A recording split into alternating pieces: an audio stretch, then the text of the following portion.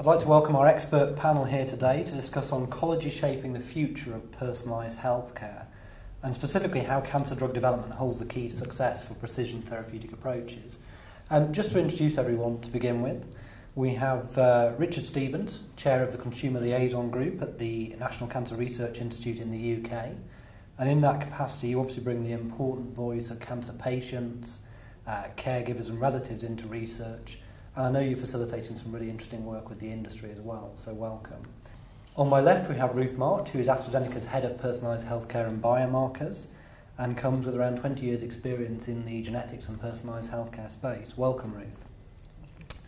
We also have over from the US, Maya Tomei, who has a particular interest in the diagnostic side and is Chief Exec of Miraka, um, with over 20 years' experience in the in vitro diagnostic space and obviously a particular interest in personalised healthcare as well. Thank you for joining us today. And finally, we have uh, Professor Malcolm Ranson from Manchester University, where he's Professor of Medical Oncology and Pharmacology and also honorary consultant at the Christie Hospital. Malcolm has a particular focus on apoptosis, cell signalling, and biomarkers, so brings an important research aspect to this discussion. We're going to be talking about a number of aspects of personalised healthcare today. And just to set the scene, obviously it's been a very hot topic for a number of years now, perhaps heralded by some of the early successes with drugs like Herceptin, first launched in 1998.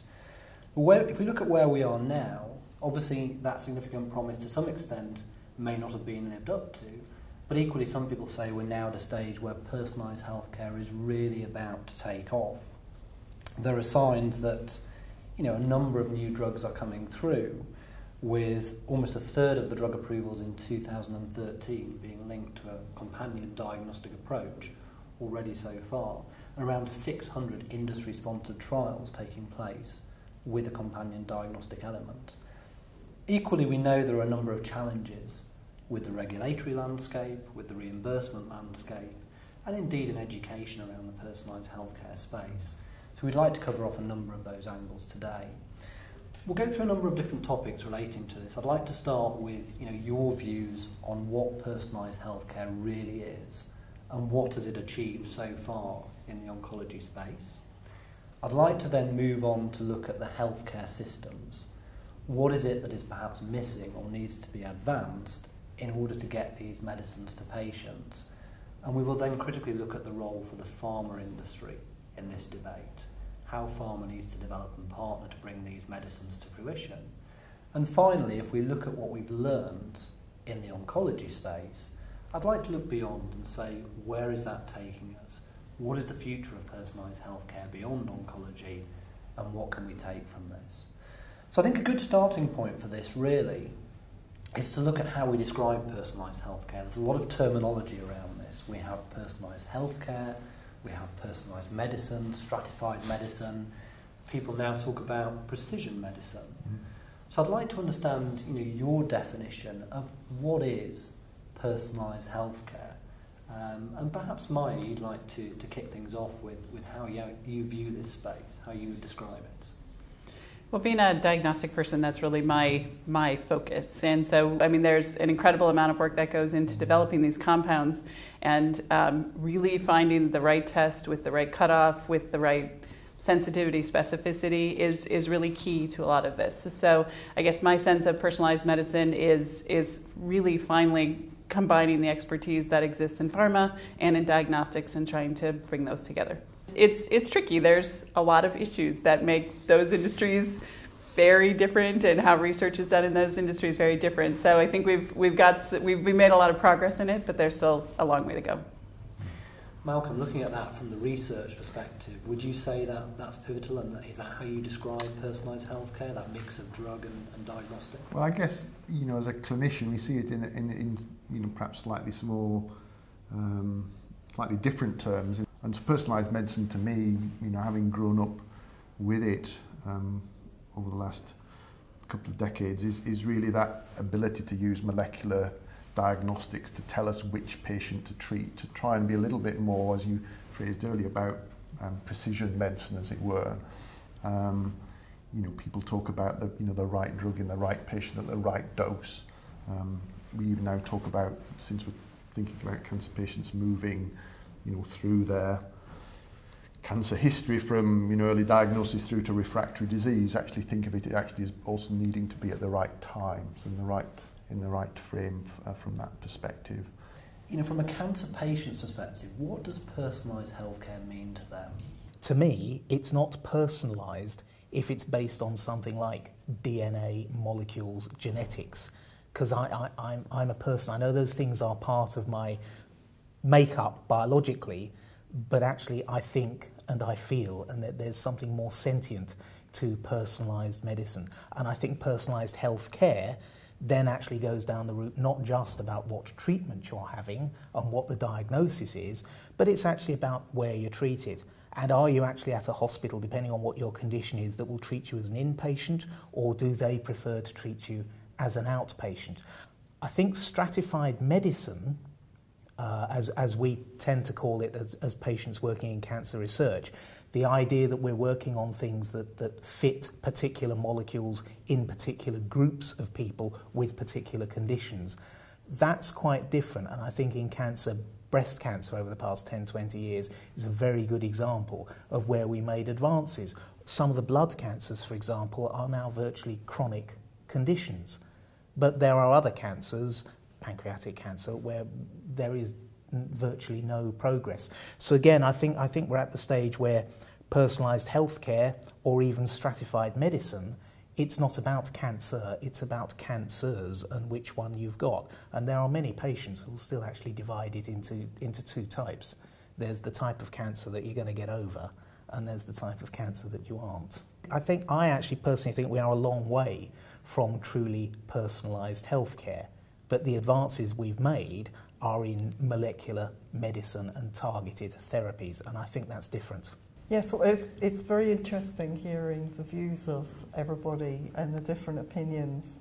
And I must say that a few years ago we became aware that there were many, many definitions of personalised healthcare or stratified medicine or targeted therapy or whatever you want to call it. And um, we came to the conclusion it wasn't that useful to talk about the best phrase or the best definition. What we're talking about, I think, is as a pharma industry, is realizing that when we produce drugs, it is about more than just those molecules to treat patients. It's about the whole experience, about knowing what the diagnosis is, about the tests that you may use, whatever goes around that, so that the best treatment gets to the right patients. So it may be a molecular diagnostic that we use, or it may be something very simple like uh, family history or a clinical, mm. you know, a clinical algorithm that just looks at the patient characteristics. All of those, to me, are personalised healthcare, and we are using all of them to get the right drug to the right patient.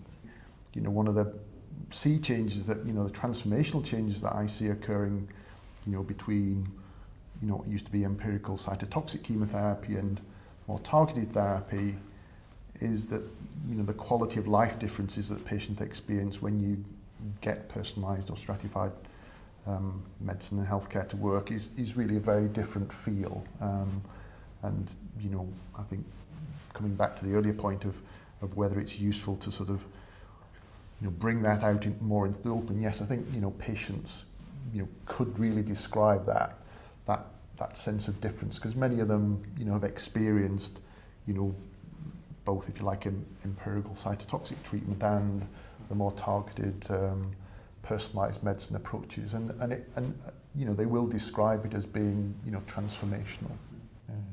There, there is there is too I think. That there's the other side of the coin to that. I, I was really interested that the US are using a term precision medicine which I have to admit I'd never heard before but it strikes me as quite important because the other side of this agenda is knowing which things will not work in certain patient groups so that you don't give people drugs that are going to do no good whatsoever. Particularly important if you do have something else that might be available, a stem cell transplant, for example, or something like that. And I think, I think that's the other side that we sometimes forget finding out why things don't work in some groups of patients is equally important. So, so it is about both sides of the coin and avoiding toxicities because you know equally personalised medicines can and you know personalised healthcare approaches can be as much about dealing and avoiding toxicities as, as it is about efficacy.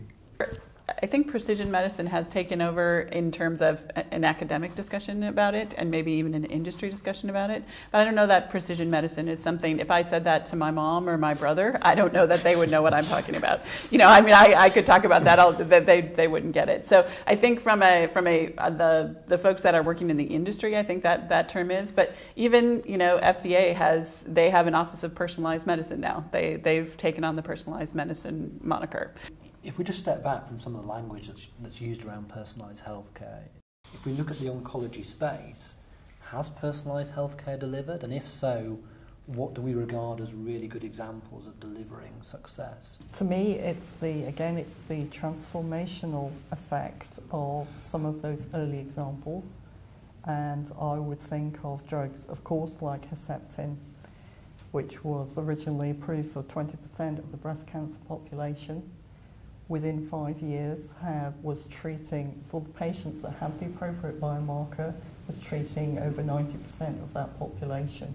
So for those patients that had a worse prognosis and had very little treatment available to them, Herceptin then became almost the standard of care. And similarly, Gleevec, which was had a very difficult time getting backing within the industry because it was directed at such a tiny population, became a clinical and a commercial success, not because the population was large, but because those patients who took it stayed on it. So rather than actually uh, dying within a few months, they went on to take Gleevec for a much longer period of time. And suddenly, you know, this, is, this became a, a drug which pharma was interested in. And in fact, I think there have been now six follow-up drugs at the same sort of population and for those drugs, those patients that develop resistance. So these are the sort of examples, I think, which transform the industry. The key question you must be asking, as anybody in the industry is asking, is what did we get so right with Herceptin and Gleevec that we need to do moving forwards? What's your view on that? Yes, well, I think the key thing that many of us in the industry have realised is that you need to start early. But if you select patients in phase one, in, in a clinical trial, and then you see the response, uh, uh, there's been recent um, examples of that, like crizotinib, then you see a remarkable result. Then you know that that drug really is going for the disease mechanism of, of the biomarker in the population that you're picking out. So I think then you have a compelling case to take to the regulatory authorities and of course you may get early registration and you may also get the reimbursement that's so important, particularly in the US. You know, Richard, I'd like to bring you back in here because as well as dealing with a number of cancer patients, you have been a cancer patient yourself. You've got a very personal aspect on this. So for you, has personalised healthcare delivered in the oncology space? Yeah, well, I'm still here, so yes. Um, but that, that is a, a, a very personal view. I, I think if you simply look at the numbers, then yes, because we have many more people surviving cancer for much longer than there used to be. Uh, and some of that is, is down to personalised medicine. For me, actually, yes, it's, it's really good news. And for lots of other people, it's really good news. But we, we still don't have enough of these treatments in enough cancers. And, and I do have some concerns that what we're doing, because we're so interested in molecules, is we're going down narrower and narrower fields. And when I sit on things like funding committees now, more and more trials coming forward are for smaller trials in much smaller groups of patients, which is really good news for them, really, really good news, and we want to go down that route. But at the same time, I'm, I'm, I'm genuinely not sure that we're ever going to have big impact drugs. Again, So it's not a straight yes or no, it's we need it to work for more people. And, and I think you, you might be very interesting at an FDA meeting. This is actually a lot of the concerns that they express when we do want to select very early on, is they are concerned that maybe there is activity for a larger group of people than we're willing to study with that drug. So it, it is difficult. I mean, I think Ruth's point is really important. You can target the folks that are really going to respond to the drug, mm-hmm. but they're very concerned that we're we are narrowing it too much. Maybe there is benefit for a lot more people than that selected group. As Richard, I think, has alluded to, one of the real dangers of personalised medicine is that we create um, areas of, of, of medicine, areas of unmet need that simply don't get addressed because there isn't a, a commercial or a, a you know an avenue that, that's open um, or it's a, it's a harder area to, to crack. Um, and in the end, we, we create more and more Cinderella diseases, albeit in perhaps smaller populations than existed in our old empirical model.